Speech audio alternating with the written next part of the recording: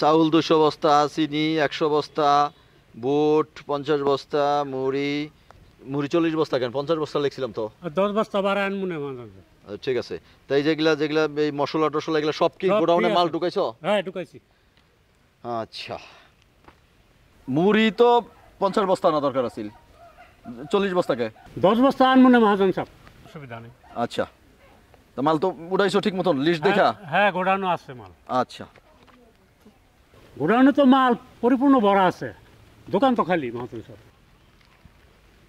আরে শোনো গোডাউনে কেন মাল বেশি রাখছি আর দোকানে কেন কম রাখছি এটা তুমি বুঝবা না। এটা হইল গোডাউনে যখন বেশি মাল থাকব দোকানে কম থাকব তখন গোডাউনতে আস্তে আস্তে দোকানে আইনা বেশি দামে বিক্রি করা যায়। আচ্ছা ঠিক আছে মহাজন সাহেব।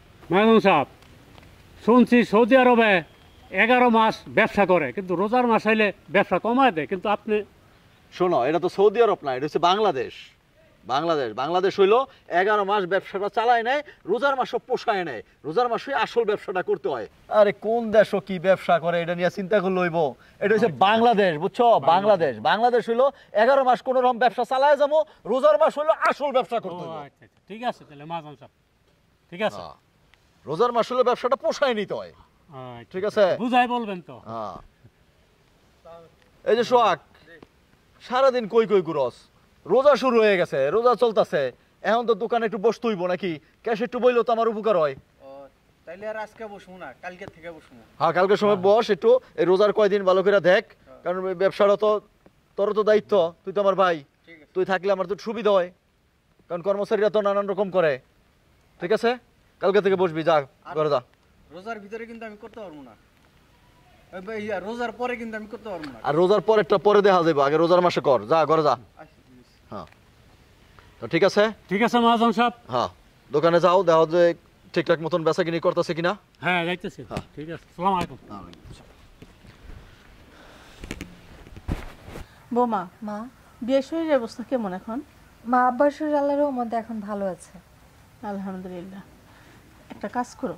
জি মা। ঈদের মধ্যে সবাই আসতে বলো। মা আমি একটা কথা বলি। ঈদের দিন বিকেলে আমি আপনারই নিয়ে আমরা সবাই মিলে আমাদের বাড়িতে যাই। তাহলে তো আরও ভালো হয়। হ্যাঁ আসার সময় তারপর ওদের সাথে সাথে করে নিয়ে আসব। হ্যাঁ মা দু একদিন থেকে তারপরে আবার সাথে নিয়ে আসব। সবাই খুব খুশি হবে মা। ঠিক আছে। তাহলে তো আরও ভালো হয়। আপনিও যাবেন আমাদের সাথে। আচ্ছা ঠিক আছে বোমা। যাব আমি খুব খুশি হব মা। হ্যাঁ? আমি একটু আসতেছি। এই শোন। জি। আসতেছি। কই থেকে আসতেছিস তুই? আসরের নামাজ পড়ে আসার সময় ইফতার নিয়ে আসবি। ইত্যাদি না? কি কি আনব ইত্যাদিতে ইফতারিতে যা যা লাগে তাই তুই নিয়ে আসবি। আচ্ছা ঠিক আছে। তুমি এত বড় হয়েছো ইত্যাদিতে কি খাও জানো না? না অনেক আবার অনেকটা খায় না তো এই লেগে গেলাম বাড়িতে তো আর অনেক মানুষ নেই আমরাই কয়েকজন। ও আসলে আমি আপনার কথা জিজ্ঞেস করছিলাম ভাবি। ঠিক আছে যাই। আচ্ছা আছে। ঠিক আছে যা। আচ্ছা। ইফতার আগে তাড়াতাড়ি আসিস কিন্তু। ঠিক আছে। মনে হয় ও এখনও ছোট আছে মা। কথার ভাবে তো তাই বোঝা যায়। মনে যে কিছুই বুঝে না। মা তাহলে কিন্তু এই কথায় আপনার কিন্তু যাইতে হবে। আচ্ছা ঠিক আছে মা। যাব ইনশাল্লাহ আমার আব্বা আম্মু খুব খুশি হবে। শোনো ম্যানেজার। বলেন। এই যে এনে কিন্তু লিস্ট করছি। দেখতেছি। কারে কারে জাকাত দিমো এগুলো লিস্ট করা আছে। নাম গেলি হ্যাঁ নামগুলো এগুলো জানাই দিবা।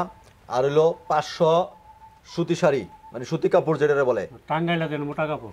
আরে রাখো তোমার টাঙ্গাইলা ওই যে মোটা সুতার কাপড় আছে না হ্যাঁ? মোটা কাপড় যেটা বলে ওইটা সবচেয়ে কম দামি যেটা ওইটা লাড়ি কিনে নিয়ে আইবা আর দুশো লঙ্গি কিনে নিয়ে আইবা।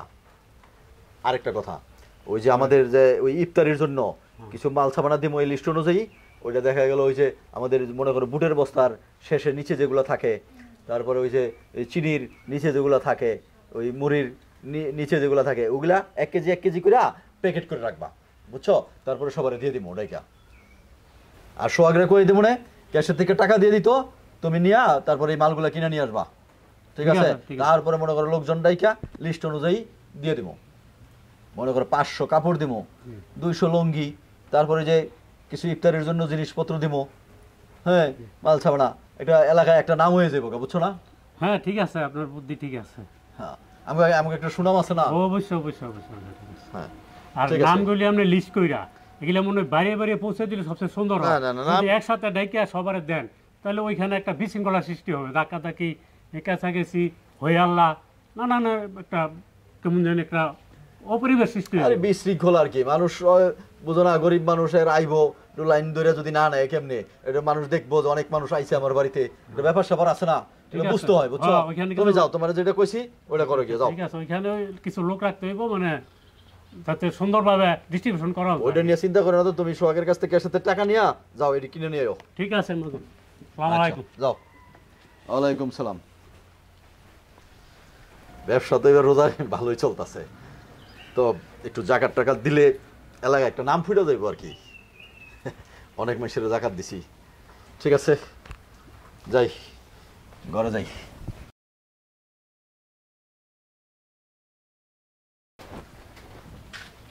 ভাবি কি হয়েছে? দোকানে গিয়ে আমার আজকে মেজাজ খুব খারাপ হয়ে গেছে। মেজাজ খারাপ হয়ে গেছে কেন? তোমার তো ইফতার নিয়ে আসার কথা। ইফতার কি নিয়ে আসমো? ইফতার রান্নার কথা আমি নিজেই ভুলে গেছি। আমি যে রোজা আছি সেটাও ভুলে গেছি। ভাই কি করছে জানো? কি করছে? পাঁচশো শাড়ি দুশো লুঙ্গি। কি করবে এতগুলো দিয়ে? বিলাবে গরিব মানুষের দিবে। কিন্তু যে শাড়ি আর কাপড় সে জোগাড় করতেছে না এগুলো এক ধোয়া দিলে পুরো একেবারে তেনা হয়ে যাব। কি? মানে একেবারে নিম্নমানের জিনিস। তারপরে যে ছোলা রমজানের ছোলা তারপরে তেল তারপরে মুড়ি যেগুলো ঝুটা মাল পরে থাকে বিক্রি করার ধান্দা করছে। এইগুলো সে প্যাকেট করে মানুষের জাগাত দেওয়ার ধান্দা করছে। এগুলো চলে এগুলো মানুষে খাইলে পড়লে পরে বদনাম হইব না আমাকে এলাকায়? না না। তোমার ভাই যা করতেছে কোনোভাবেই ঠিক করতেছে না। কারণ কাউকে কিছু দিলে সেটা ভালো জিনিস দিতে হয়। এইটা এখন হ্যাঁ কে বুঝাইবো? আমি দুই তিনবার করে কইছি এটা জানার পরে। তারপরে সে আমার আমার উপর উল্টে চেয়ার দেখাইতেছে মা মা মা। কি হয়েছে বোমা? ভাবি তো শুনে নাও আমি কইতে পারব না। বোমা কি হয়েছে? আপনার বড় ছেলের কাণ্ডকলাপ দেখে আপনার ছোট ছেলে রাগ করেছে। কি করছে আমার বড় ছেলে? কে আর করেনি? যে কাজগুলো করতেছে সমাজের জন্য এগুলো কি ভালো? মানুষের সামনে মুখ দেখানো যাবে? সে নাকি জাকাত দিবে। পাঁচশো শাড়ি দুশো লুঙ্গি তারপর হচ্ছে ইফতারির কিছু আইটেম হ্যাঁ এগুলো। তো। হ্যাঁ ভালো। সেটা তো আমিও জানি ভালো কিন্তু মা গরিব দুঃখীর মাঝে কিছু দিলে সেটা ভালো জিনিস দিতে হয়। যাতে তারা একটু দেখে শান্তি পায় পরে শান্তি পায় মনের মধ্যে আনন্দ আনতে পারে। এবং যে কাপড়টা দিবে সেটা পরে যে খাবারটা দিবে সেটা খেয়ে মহান আল্লাহ তাল্লার দরবারে শুক্রিয়া আদায় করে। আর এমন কিছু দিচ্ছে যেগুলো দেখলে পরে মানুষের মন এমনিতে নষ্ট হয়ে যাবে। তুমি কি কইতেছো এগুলা? হ্যাঁ মা। সব থেকে নিম্নমানের শাড়ি। বুট বিক্রি করার পরে যে বস্তা নিচে যেগুলো থাকে কিরি টিরি ধরে গেছে। মুড়ি বিক্রি করার পরে যে যে ভেঙে টেঙে গেছে ছাতু হয়ে গেছে ওগুলো আলাদা করে প্যাকেট করতেছে এই রমজান মাসে গরিব দুঃখীর মাঝে দেওয়ার জন্য। আপনি বলেন এইসব খাবার কি দেওয়া যায়? না মা এটা তো ঠিক করতেছে না। মা গরিব দুঃখীর মাঝে কিছু দিলে ভালো কিছু দিতে হয়। এরকম খাবার এরকম পোশাক যদি আপনার ছেলে দেয় তাহলে মান সম্মান তো নষ্ট হবেই এবং আল্লাহর কাছেও একটা হিসাব দিতে হবে মা। হুম তা তো হবেই। তাহলে আপনার ছোট ছেলে রাগ করবে না কি করবে বলেন? তো রাগ করার কথাই। ও আসুক বাড়িতে তারপরে আমি দেখতেছি। এমনিতে বাবার শরীর ভালো না আমার মনটা খারাপ আমার শরীরটাও খারাপ। আপনার ছেলের এই কার্যকলাপ শুনে না আমার এখন আরও খারাপ লাগতেছে মা। বাবারে আমি শুনলাম তুই নাকি পাঁচশো জনরে তুই জাকাত দিবি? দুশো লুঙ্গি দিবি পাঁচশো জনরে শাড়ি দিবি। আরও শুনলাম একদম নিম্নমানের জিনিস তুই তাদের দিবি। যে জিনিস আমরা খাইতে পারব না আমরা পড়তে পারব না সেই জিনিস তুই কেন দিবি? তুই পাঁচশো জনের জায়গায় তুই দুইশো জনরে দে একশো জনরে দে পঞ্চাশ জনরে দে তুই ভালো জিনিস দে। এটা কি ঠিক? হ্যাঁ, আমি অনেক বুঝেছি, মা। কিন্তু ভাই বুঝে না। উল্টা আমার ধমক দিছে। যে সে যে সমস্ত কাজকর্ম করতেছে, এগুলো আসলে মানে কি করব আর? শোন বাবা, তোর জাকাত দেওয়ার সামর্থ্য আছে বিধায় তুই জাকাত দিতেছস। ওর জায়গায় যদি তুই হইতি, তাহলে তোর কেমন লাগতো? তুই জাকাত দিবি, ডান হাত দিবি, বাম হাত যেন না জানি। আর লোক দেখানোর জন্য জাকাত দেওয়া ঠিক না। জাকাত দিবি, গোপনে দিবি, দান খরাত করবি, গোপনে করবি এতে আল্লাহ খুশি হবে। দেখো, মা ওরা কিন্তু ঠিকই বলেছে। আসলে লোক দেখানো, দান খয়রাত করলে আল্লাহ খুশি হন না। এতে আল্লাহ আরও কষ্ট পায় যে আমার বান্দা তার সামর্থ্য আছে বলে সে মানুষকে দেখাচ্ছে। মানুষকে দেখানোর জন্য এসব করতেছে। সেটা ঠিক না। আল্লাহ তালাকে খুশি করার জন্য গরিব মানুষের মুখে হাসি ফোটানোটাই অনেক কিছু। যাকে তুমি দান করবে সে একটা বস্ত্র পরে যদি মনে শান্তি না পায় সেই বস্ত্রটা দেখে যদি তার হৃদয় খুশি না হয় সে দান করার কোনো মূল্য আছে বলো? দেখো তুমি বুঝতেছো না। যদি আমি দামি জিনিস দিতে যাই তাহলে তো এত মানুষের দিতে পারব না। পাঁচশো মানুষের দিলে পাঁচশো মানুষ খুশি হইব না? না খুশি হবে না। বরঞ্চ তোমার পাঁচশো জনের মধ্যে পাঁচ হাজার মানুষের মনে কষ্ট থাকবে। কারণ তুমি যে জিনিসগুলো দিচ্ছ, সেগুলো ভালো জিনিস দিচ্ছ না। তোমার সামর্থ্য অনুযায়ী তুমি জাকাত দাও। তোমার সামর্থ্য অনুযায়ী তুমি গরিব মানুষের পাশে দাঁড়াও। যতটুকু পারো ততটুকু দিয়ে পাঁচশোর জায়গায় দুশো দাও। দুশো জনের মধ্যে তুমি একশো জনকে দাও। একশো জনও যদি না পারো, পঞ্চাশ জনকে দাও। তবু তুমি ভালো মানের জিনিস দাও। যে জিনিসটা আমি খেতে পারব না, সে জিনিসটা অন্যকে কীভাবে দিব? যে জিনিসটা আমি পরতে পারব না, সেই বস্ত্রটা, সেই কাপড়টা অন্যজন কীভাবে পরবে? একটাবার ভাবো তারাও তো আমাদের মতো মানুষ। তাদের সামর্থ্য নাই দেখে তো তোমার, আমার, আমাদের মতো যাদের সামর্থ্য আছে, তাদের কাছ থেকে তারা জাকাত নিচ্ছে, তাই না? তাদের কথাটা তো একবার ভাবা উচিত। মা, তুমি ঠিকই কইছো। তো, আমার একটা কথা। আমি যখন পাঁচশো মানুষের লিস্ট করছি, পাঁচশো মানুষের দিব বলে নিয়ত করছি, পঞ্চাশ জন না, পাঁচশো মানুষেরই দিব। এক নম্বর জিনিসই দিব বাজারের। আল্লাহ তো আমাকে কম দেয় নাই। আর এটাও আমি বুঝতে পারছি যে আল্লাহ বলছেন ডান হাতে দিলে বাম হাত যেন জানতে না পারে। মানুষের ডাইকাই না দিব না গোপনে দিব। ঠিক কথা গেছে বাবা। আমি তোর কথা শুনে অনেক খুশি হইলাম। মা এই তোমার যার যার পছন্দ হয় তুমি একটা লিস্ট করো। সোহাগ তুইও দেখা দেখা যার যার পছন্দ হয় বা কারাকে পাওয়ার যোগ্য তার লিস্ট করো। আর তোমারও যদি কেউ থাকে ধরো বাপের বাড়িরও যদি কেউ থাকে ওই এলাকার গরিব দুঃখী তাদেরও একটা লিস্ট করো।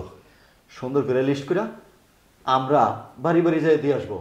আর সোহাগ ওই যে বলছিলাম না বস্তার নিচের বুট নিচের বুড়ি ওগুলো না। তুই ম্যানেজারের কবি এক নাম্বার জিনিস প্যাকেট করার জন্য।